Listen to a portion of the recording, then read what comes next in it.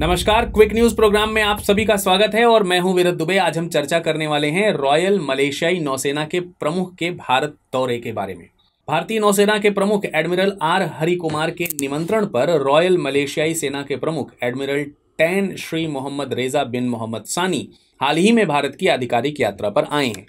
इस यात्रा की शुरुआत राष्ट्रीय समर स्मारक पर एक पुष्पांजलि समारोह के साथ हुई है, जहाँ मलेशियाई नौसेना प्रमुख ने भारतीय सैनिकों को श्रद्धांजलि दी। आधिकारिक कार्यक्रम शुरू होने से पहले साउथ ब्लॉक के भव्य लॉन में उन्होंने गॉड ऑफ़ ऑनर दिया गया।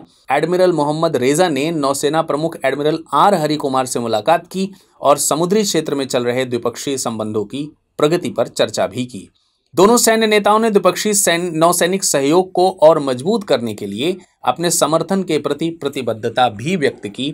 आपको बता दें कि एडमिरल मोहम्मद रेजा कोच्चि में भारतीय नौसेना के प्रमुख gunnery training establishment INS Dronacharya के गौरवशाली पूर्व छात्र रहे हैं, जहाँ से उन्होंने 1990 में तोपखाना विशेषज्ञ के रूप में स्नातक की उपाधि प्राप्त की थी।